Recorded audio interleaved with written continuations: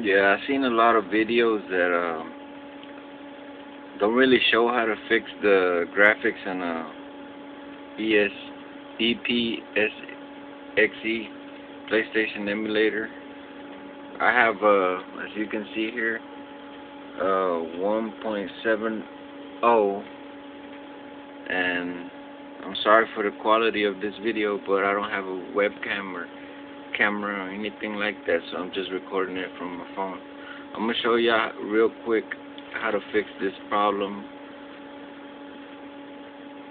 of uh, I was playing Final Fantasy 7 and I couldn't see the the uh, battle battle screen menu and I tried everything on the on the to fix the emulator and everything but it didn't work so I'm gonna show y'all what to do. First y'all gotta open the emulator. Go to configuration video and set it on I don't know if y'all can see it but set it on PEOP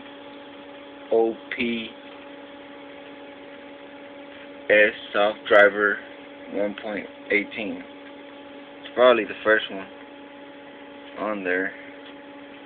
But if you set it up to that, you can see the battle screen menu and it'll fix most of the problems on on some games. I'll show y'all here.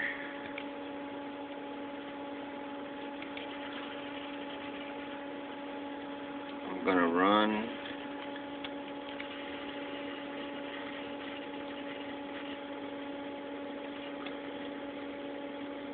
Run the game of Final Fantasy 7.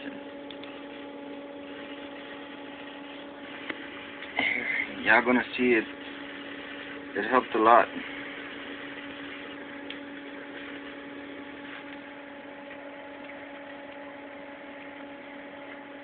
I couldn't see the battle menu and I was like, well, how am I gonna give them health or or know which power they're throwing? So that's what I did and it fixed my problem. I'll show you. I'll show you in a minute.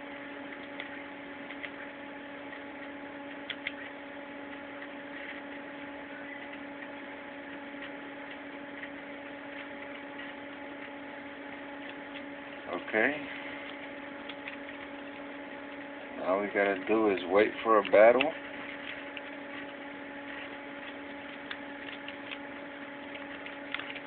Eventually a battle would show up.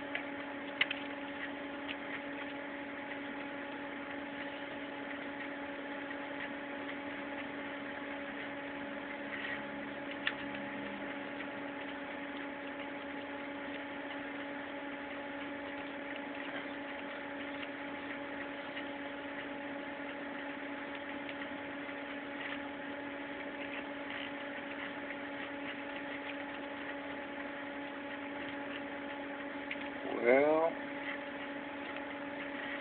there it goes. There goes the battle menu. Hope this was useful. And please subscribe.